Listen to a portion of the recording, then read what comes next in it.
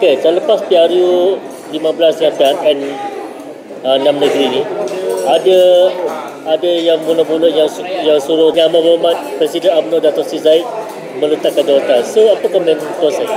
Uh, bagi saya itu tidak adil lah untuk beliau melepaskan jawatan. Kalau kita tengok desakan-desakan dibuat ni tidak berasas. Kerana kalau kita fikir kekalahan ni sepatutnya ditanggungjawab oleh semua orang. Bukan seorang presiden yang kena bertanggungjawab.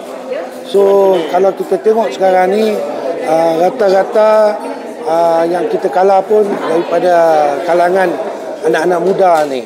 So kita kena cari satu kaedah.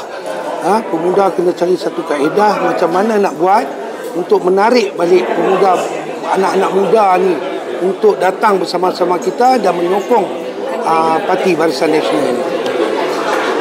So, kebanyakan uh, bila kita tengok PRN, PRU uh, undi undi muda kebanyakan banyak kepada perikatan.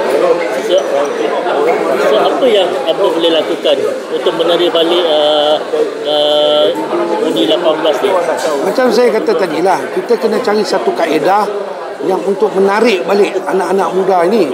Kalau kita tengok di belah sana pun, parti pemangkang, dia orang pun tak banyak sangat kaedah-kaedah yang dia orang buat. Selalunya kita tengok macam dia orang buat motor, kit, kan?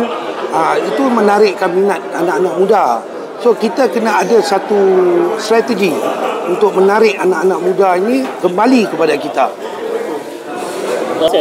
UMNO ni masih relevan ke? UMNO ni kalau kira UMNO tetap relevan. Kan? Kita tidak kalah semua. Kalau kita tengok, kalau kita kaji balik sejarah dalam politik, eh, ada juga parti pemangkang yang kalah banyak. Tapi mereka tak desak pun presiden suruh tak jawatan. Betul tak? Kalau kita kata re, tak relevan UMNO ni, setiap kali perhimpunan agung, PAU ni, penuh Dewan DPWTC tu. Orang hadir. Kan? Itu menunjukkan yang UMNO ni masih lagi relevan.